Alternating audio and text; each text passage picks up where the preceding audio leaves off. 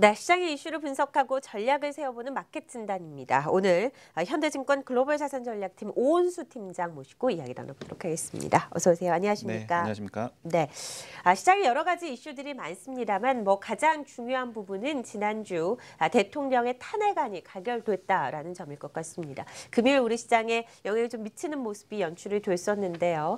앞으로 시장에 어떤 흐름을 보이게 될지가 중요할 것 같습니다. 이 정치적인 부분과 우리 시장의 상관관계 어떻게 생각하시나요? 예, 탄핵소추안이 국회 통과가 되었죠. 그래서 이제 그동안 아, 그 탄핵 관련된 어떤 불확실성 그리고 이것이 국정 운영의 어떤 중단으로 이어질 수 있다라는 점이 투자 심리에는 상당한 어떤 부담감으로 네. 작용했었는데요. 이러한 불확실성이 일정 부분 해소됐다라는 점에서 증시에는 좀 긍정적인 부분이라고 해석하시면 될 것 같습니다. 그래서 지난 6개월 동안에 증시의 어떤 등락률을 놓고 보면은 거의 이제 횡보하는 국면이었는데 업종별로 놓고 봤을 때는 어, 뭐 의약품이라든지 어, 비금속 광물, 음식료 같은 업종들이 전반적으로 좀 어, 부진했던 아, 그 성과를 보였는데요. 이런 창조 경제라든지 어떤 관련된 수혜 업종들의 경우에는 좀 낙폭이 컸다라는 점에서 단기 반등성이 좀 남아 있다라고 좀 생각해 볼 수 있겠고요. 그런 관점에서 본다면은 어, 연말까지 남아 있는 상황에서 어, 어떤 그동안 낙폭과대 업종에 대한 접근을 하시는 것도 어, 괜찮은 방법이다 이런 말씀을 드릴 수 있겠습니다. 또 한 가지 시장에서 좀 살펴볼 수 있는 부분은 어, 유가의 급등이라고 볼 수 있습니다. 아, 지난 주말 국제 유가, 그러니까 WTI 기준으로 놓고 봤을 때 5.3% 급등해서 어, 배럴당 54.23달러를 기록을 했는데요. 무엇보다 중요한 것은 어, 지난달 어떤 감산 합의에 대한 오펙에서 감산 합의가 되면서 120만 배럴 정도의 어떤 그 감축 효과가 있었는데 이번에는 러시아라든지 이 비오펙 회원국들이 아, 감산에 동참을 하면서 50만 배럴 정도 감산하겠다 이렇게 얘기를 한 거죠.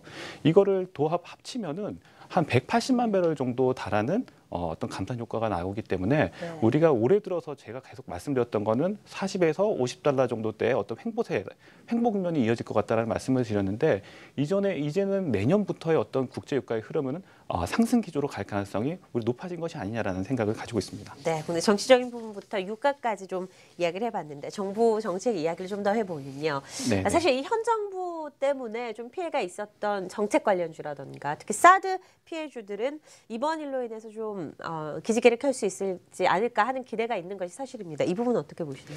예, 아직까지 그 탄핵 정국이 좀 탄핵 정그 국면이 마무리되진 이어- 예. 마무리되지는 않았고요. 예. 이어지고 있는 상황이기 때문에 이것이 뭐 온전히 다 회복하기는 좀 어려운 환경이다라는 생각이 듭니다. 다만 그럼에도 불구하고 그동안 어떤 사드 관련된 이슈로 인해서 좀 낙폭과대했던 업종들은 우리가 아, 개별 기업 단위에서의 어떤 실적을 체크해 보시고 들어가시는 게 좀 합리적이지 않을까 생각이 되고요. 그래서 어떤 특정 업종이 괜찮을 것 같다라는 말씀을 드리기보다는 어, 중국에 대한 익스포저가 낮음에도 불구하고 사드 관련된 이슈로 인해서 도매급으로 어떤 그 하락했던 기업들의 경우에는 우리가 충분히 접근 가능하실 것 같다라는 말씀을 드릴 수 있겠습니다. 다만 지금 일부 업종 그러니까 뭐 창조 관련 창조 경제 관련돼서 어떤 수혜 업종이라고 불렸던 어그 뭐 바이오라든지 이런 종목들의 경우에는 아, 당분간 좀 급등락할 가능성이 높아 보이고요.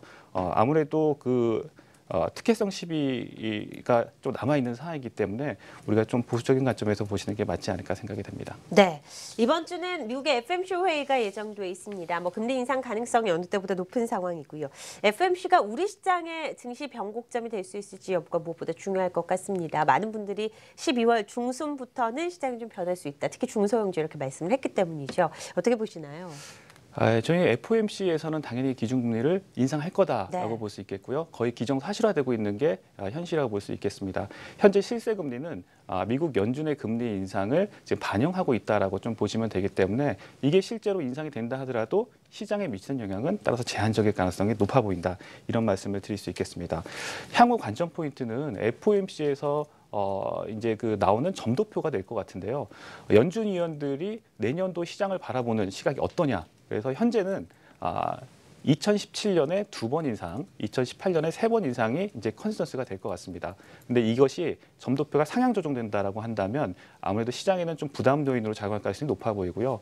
어, 반대로 이것이 현 상황, 현 수준을 유지하는 정도로 어, 점도표가 나온다라고 한다면은 지금까지 어떤 완화적 통화 정책이 내년에도 이어질 수 있다라는 점 때문에 시장에는 좀 긍정적인 요인으로 작용하지 않을까 생각이 됩니다. 네, 글로벌 자금 흐름에 대한 이야기를 좀 해보도록 하겠습니다. 그동안 많이 빠져나갔던 신흥국 자금이 다시금 되돌아오고 있다라는 이야기가 나오는데요. 예, 이게 지금 아, 11월 말까지만 하더라도 자금이 유입세였는데요. 네. 어, 지난주에 다시 유출로 아, 아, 네, 반전됐습니다. 네, 네. 그래서 지금 지난주에 나온 자료를 보니까요. 어, GEM 글로벌 이머징 펀드군 그리고 아, 일본을 제외한 아시아 펀드군 쪽으로의 자금 유출이 아, 다시 좀 더 확대되는 모습이었고요.